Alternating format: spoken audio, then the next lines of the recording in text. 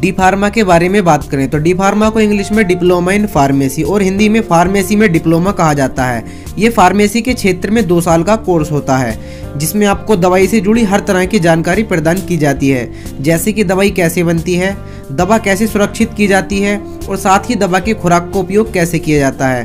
और दवाओं की मार्केटिंग किस प्रकार की जाती है, इससे जुड़ी सभी जानकारियाँ आपको बताई जाती हैं। क्योंकि फार्मेसी एक तरह से एक हेल्थ का क्षेत्र है, जिसमें कई प्रकार की दवाइयों पर एक्सपेरिमेंट, उसमें सुधार करने की कोशिश करते हैं। स्टूडेंट्स, यदि आप भी फार्मेसी के क्षेत्र में जाना चाहते हैं और डी फार्मा कोर्स करना चाहते हैं, पीसीएम या पीसीबी विषय के साथ बारहवीं कक्षा को पास करने के बाद डी फार्मा में एडमिशन ले सकते हैं। तो आइए जानते हैं वीडियो में आगे डी फार्मा करने के लिए आपको कौन कौन सी एलिजिबिलिटी होनी चाहिए, आपको कौन कौन सी क्वालिफिकेशन होनी चाहिए। सबसे पहले आपको बारहवीं कक्षा पास करनी चाहिए। इसके बाद बारहवीं कक्षा में कम से कम 50 परसेंट या 55 परसेंट आपके अंक होने चाहिए। यदि आप पीसीएम या पीसीबी सब्जेक्ट से बारहवीं पास हो तब भी। और यदि आप पीसीएम या पीसीबी यानी कि फिजिक्स केमिस्ट्री मैथ और फिजिक्स केमिस्ट्री बायोलॉजी सब्जेक्ट में बारहवीं पास कर चुके हो तो आप डी फार्मा में एडमिशन ले सकते हैं। और गाइज़ यदि आप भी डी फार्मा कोर्स करना चाहते हैं तो आप बारहवीं कक्षा उत्तीर्ण करने के बाद किसी सरकारी कॉलेज या किसी प्राइवेट कॉलेज से भी कर सकते हैं। और यदि आप किसी सरकारी कॉलेज से डी फार्मा कोर्स करना चाहते हैं तो उसके लिए आपको एंट्रेंस एग्ज़ाम देना होगा, क्योंकि एंट्रेंस एग्ज़ाम के लिए मेरिट आधार पर ही आपको गवर्नमेंट कॉलेज में एडमिशन दिया जाता है। इसके अलावा यदि आप बिना एंट्रेंस एग्ज़ाम दिए कॉलेज में एडमिशन लेना चाहते हैं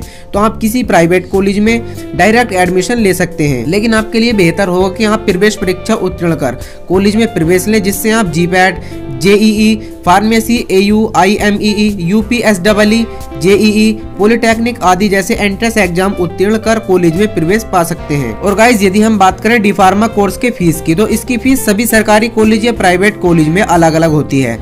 फिर भी डिफार्मा कोर्स की फ़ीस सरकारी कॉलेज में चालीस हज़ार से पैंतालीस हज़ार के करीब होती है। और अगर प्राइवेट कॉलेज की बात करें तो प्राइवेट कॉलेज में इसकी फ़ीस अस्सी हज़ार से एक लाख के आसपास होती है। लेकिन ध्यान रहेगी किसी भी कॉलेज में एडमिशन लेने से पहले उस कॉलेज की फ़ीस की भी जानकारी आपको ले लेनी चाहिए। और दोस्तों, आपको एक बार फिर बता दू की अगर आपको इसकी जानकारी लेना चाहते हैं, यानी कि आपको डिफार्मा करने के लिए क्या क्या करना होगा तो इसके बारे में आपको एक बार बता दूँ कि डिफार्मा कोर्स करने के लिए आपको सबसे पहले बारहवीं class physics, chemistry, mathematics physics या फिजिक्स केमिस्ट्री और बायोलॉजी सब्जेक्ट से पास होना चाहिए और साथ ही बारहवीं कक्षा में कम से कम 50 से 55 परसेंट आपके अंक होने चाहिए। और गाइज़ यदि आप किसी सरकारी कॉलेज से डिफार्मा कोर्स करना चाहते हैं तो आपको एंट्रेंस एग्ज़ाम अच्छे अंकों के साथ पास करना होगा, क्योंकि कॉलेज में प्रवेश आपके एंट्रेंस एग्ज़ाम की योग्यता के आधार पर ही दिया जाता है। और साथ ही सरकारी कॉलेज की फ़ीस भी कम होती है। इसके अलावा, अगर आप यह कोर्स किसी प्राइवेट कॉलेज से करना चाहते हैं तो बिना एंट्रेंस एग्ज़ाम दिए भी कर सकते हैं, लेकिन निजी कॉलेज की फ़ीस सरकारी कॉलेजों की तुलना में अधिक होती है। वैसे हमारे भारत में कई ऐसे कॉलेज हैं जहाँ से डी फार्मा का कोर्स किया जा सकता है। इसके अलावा आप इसे किसी प्राइवेट कॉलेज से करना चाहते हैं तो आपको यह कोई नियमित रूप से करना चाहिए, जिससे आपको सभी दवाओं की जानकारी मिल सके। अगर आपका एडमिशन डी फार्मा कोर्स करने के लिए कॉलेज में होता है तो आपको इस कोर्स की पढ़ाई दो वर्ष तक करनी होती है। और दोस्तों, आपको एक ज़रूरी बात बता दूँ कि डी फार्मा कोर्स जो है दो साल का एक कंप्लीट कोर्स है, जिसमें आपके लगभग एक साल में आपको फाइनल एग्ज़ाम देने होते हैं, यानी कि हर साल आपके हर वर्ष में आपके एग्ज़ाम होते हैं और कॉलेज की बात करें तो कॉलेज में आपके सेशनल एग्ज़ाम के साथ ही आपके सिटी एग्ज़ाम भी होते हैं। यानी कि कॉलेज टेस्ट के द्वारा आपको एग्ज़ाम के लिए पूरी तरह से प्रिपेयर कराया जाता है कि आपको फाइनल एग्ज़ाम में कैसे तैयारी करनी है। अगर आपकी सेशनल एग्ज़ाम में अच्छी तरह से तैयारी हो जाती है, अगर आपके कॉलेज में सिटी टेस्टों में आपकी अच्छी तरह से तैयारी हो जाती है तो आपको फाइनल एग्ज़ाम देने के लिए कोई भी दिक्कत नहीं होगी। और गाइस जब आप डिफार्मा के फाइनल ईयर के एग्ज़ाम दे देते हैं, उसके बाद आपको डिफार्मा कोर्स की सफलता पूर्वक पूरा कर लेते हैं तो उसके बाद आपको तीन महीने की इंटर्नशिप भी करनी होती है।